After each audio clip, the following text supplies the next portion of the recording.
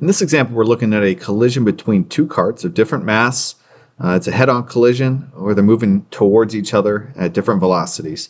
And the ask for the velocities and directions of each cart after the collision. Uh, so we know the stuff before the collision. What we don't know is what's happening after the collision. And what makes this unique is without that information, you can't solve it with momentum alone. But what does stand out is the type of collision we have, right? So a couple things we do know, right? When we're going into and solving collisions, we know that an impulse or change in momentum is equal to a force times a time. And in this collision, there's no external force on the system. The system being the masses of the carts.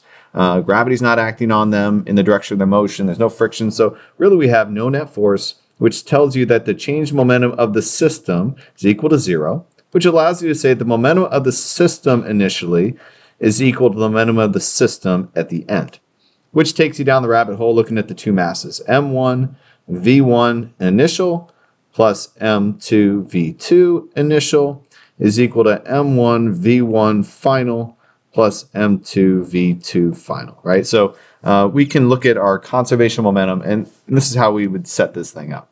Um, but because it's perfectly elastic, we know something else is true.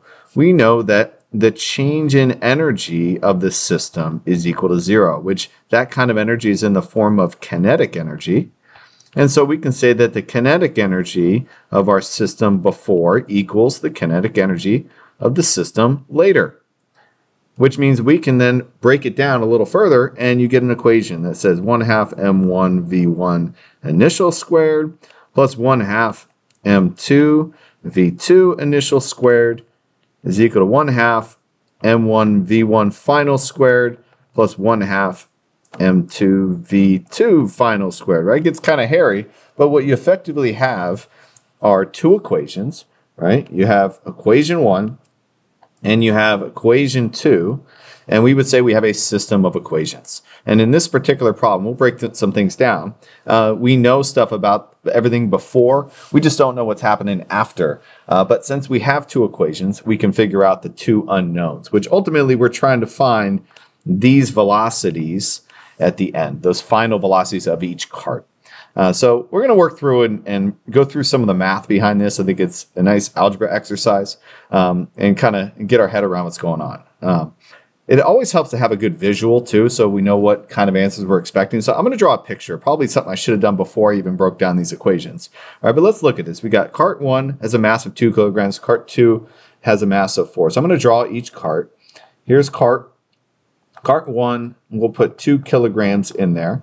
And cart two is four kilograms. Uh, maybe it makes sense to draw cart two a little bigger. If it's more massive, uh, that visual can be nice. That's cart two. Uh, we know that cart one is moving at five meters per second. Right, so I'm going to draw a nice long arrow and say five meters per second. And cart 2 is traveling in the same direction at 2 meters per second. So I'm going to draw a smaller arrow at 2 meters per second. All right, so we get this collision um, of a smaller mass on a bigger mass. And let's see what happens after the collision. right? so after the collision, they're going to collide. And you're going to have this smaller mass and this bigger mass. Uh, I suspect that this bigger mass is not going to suddenly be going left. So I'm probably going to gain some velocity. All right, this is going to be, since it's mass 1 and mass 2, let's call it V2 final. Uh, and then this second mass, this smaller one, uh, even though it's going faster, I actually don't know where it's going to go. We got some final velocity of 1, which could really go either way. Uh, and so hopefully our math will tell us if we get a negative answer, we would know it's left, positive right. Uh, I don't see a way where that block on the right could end up going left, so I'm expecting a positive answer for V2 final. So that's kind of the thought process here. And we're really just trying to figure out, well, what the heck are those velocities? Uh, so let's start plugging in some numbers and clean things up. You certainly, you can go online, there's derivations and ways to solve this, but I'm going to go through the math. I'm going to plug in the values we know. All right, so cart one, uh, if we're going to do momentum, this first equation, I know that it has a mass of 2 kilograms moving at positive 5, plus cart 2 has a mass of 4 kilograms moving at positive 2, that's the left side of that first equation. And then later we have a mass of 2 moving at some final velocity uh, of cart 1, plus 4, the mass of the second cart, and its final velocity. All right, so there's my one equation. I can clean this up. The left side, I got 5 times 2 is 10, plus 8, which is 18, is equal to 2v final, or sorry, v1 final, plus 4 v2 final. So there's one equation. Uh, let's go to kinetic energy. We know that 1 half of 2 times 5 squared plus 1 half of 4 times 2 squared, there's our initial kinetic energy of our system, is equal to 1 half of 2 times v1 final squared plus 1 half of 4 times v2 final squared. And now let's clean that up, right? The half and the 2 cancel. 5 times 5 is 25. 4 and 2 is 2. 2 times 2 squared, that should give me, I believe, 8. Uh, and so I have 33 on the left side is equal to 1 half of 2. That cancels. I have v1 final squared. And 4 divided by 2 is 2. v2 final squared. And there's my system. Uh, so now it's an algebra exercise. Uh, and there's a lot of ways we can do this, right? Uh, we could solve for variable, do substitution, uh, and that's probably the way I'm going to go here. Um, I think the easiest thing here to do would be to solve the left equation in terms of either v1f or v2f, substitute it in, and then uh, solve the one equation from there. So um, let's let's go ahead and just solve for v1 final here on the left side of the equation. Uh, I'm going to isolate it. I'm going to subtract 4 v2 final, so 18 minus 4 v2 final is equal to 2 v1 final.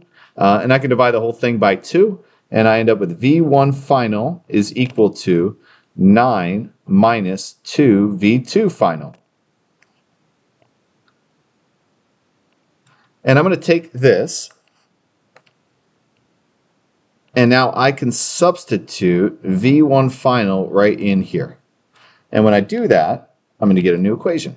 I'm going to get 33 is equal to the quantity 9 minus 2 V2 final, quantity squared, plus 2 V2 final squared. And we got to clean that up. Oh, we got a polynomial, a binomial, and we're going to square it. We got a FOIL, right? Remember, in algebra class, it really looks like this. And we've got to multiply it by itself. So we got to do that FOIL uh, from algebra class. And I'm going to clean it up here, right? So we're going to do first, outside, uh, inside, and last. So I'm going to get 33 is equal to 9 times 9 is 81.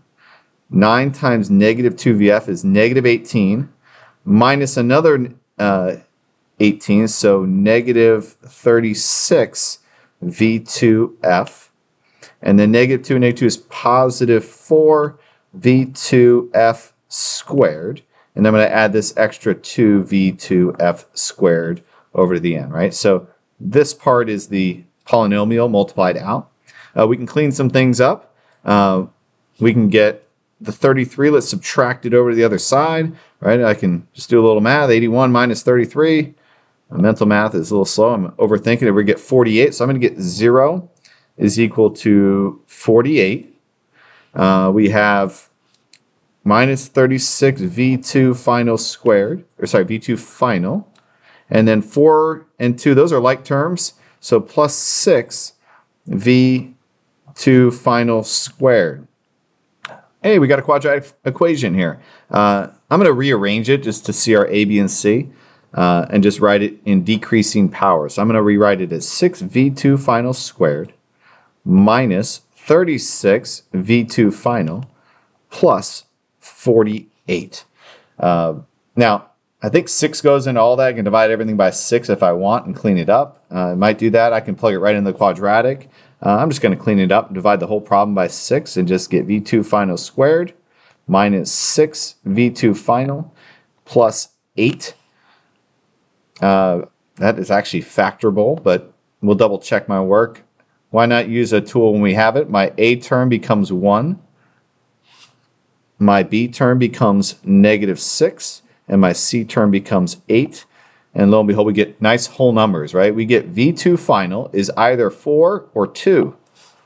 V2 final is either positive 4 or positive 2. Now, these are velocities. Uh, what does that mean? Well, there's a solution to this, and those are two of the possible solutions. Uh, and let's look at our situation. Well, hey, doesn't it start at 2 meters per second? So 2 meters per second can't be one of the solutions because that's what it started with, which actually makes sense if we get one of those as our solutions. But that means that V2 final better be the bigger one. So I actually know that V2 final is equal to 4 meters per second, and it's positive, so I know it's to the right.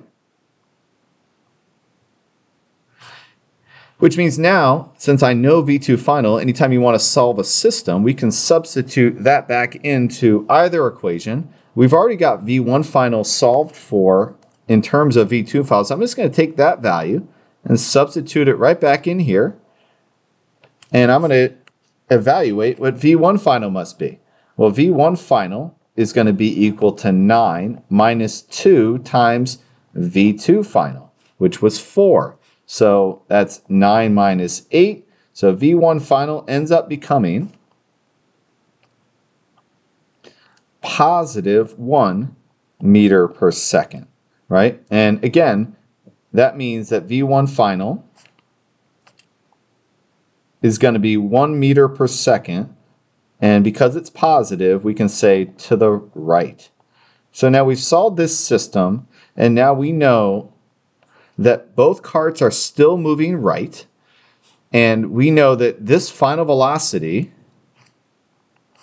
at the end should be equal to 1 meter per second and 4 meter per second.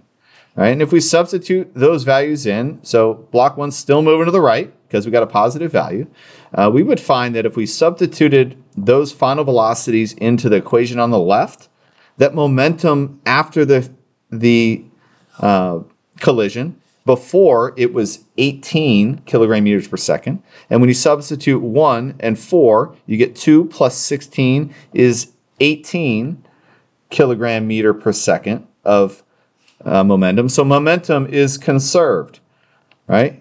But let's look at kinetic energy. Well, before the collision, we have 33 joules of kinetic energy.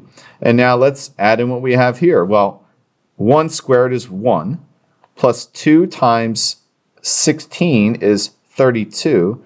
And so we get 33 joules, and therefore kinetic energy is also conserved, right? So we know that that solution for this problem satisfies both conservation of momentum and conservation of kinetic energy uh, as a perfectly elastic collision. So there's our solution. Kind of work through all the algebra. Again, there are calculators online. Uh, if you're trying to solve problems on an AP exam, they're typically not going to ask you to solve a whole system, but we certainly need to know that a perfectly elastic collision, we can conserve kinetic energy. And that's what's going to allow us to actually find a solution here when it doesn't appear to give us enough information at the start of the problem. Um, so best of luck here as you start to solve these more challenging uh, problems here with momentum.